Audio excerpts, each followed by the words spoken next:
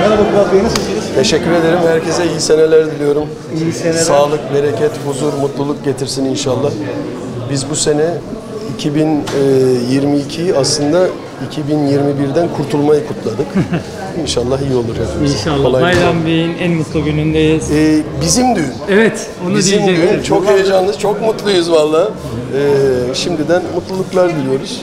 Herhalde e, son 20 yılın en güzel düğünü olacak gibi yani. Çelenkler falan efsane. Herkes burada değil mi? Kesinlikle. Zamanında geldik nikah kıyılmadı. Kesinlikle yok. Nikah Tamam. daha kıyılmadı. Şartlarına geliyor. Biz neler yapalım? Biz de e, albümü bitirdik bu arada. Aa, Güzel bir haber.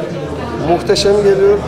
E, ilk klibimizi uzun hava rap'e çekiyoruz arkadaşlar. Uzun hava rap.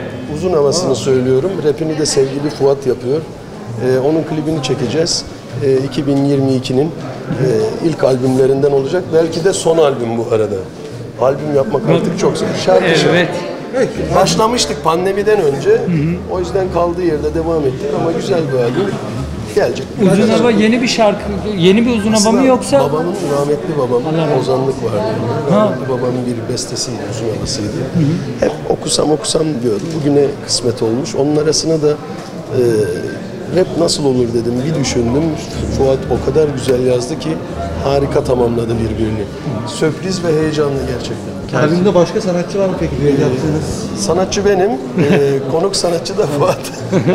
Tek- Çok teşekkür ederim. Sağ Peki son olarak Ku- Kubat Bey yıllar sonra Mahsun Kırmızıgül albüm çıkardı. Kubat en yakın Mahsun- dostu olarak neler Mahsun, söyleyeceksin? e, sevgili dostum çok kıymetli e, bizim için ve onun bu albüm sürecinde de çok e, heyecanına şahit oldum. Siz hep dinlediniz yıllardır Ya, da. Yıllardır dostluğumuz var ama bu albümde heyecanını hep yaşadık. Beste yaparken yanındaydım. Gerçekten çok da çalışkan. E, canın sağ olsun albümdeki benim favorim. Mahsun Baba'ya hayırlı uğurlu olsun diyorum. Yolu açık olsun. Çok teşekkür ederiz. Sağ olun. İyi eğlenceler.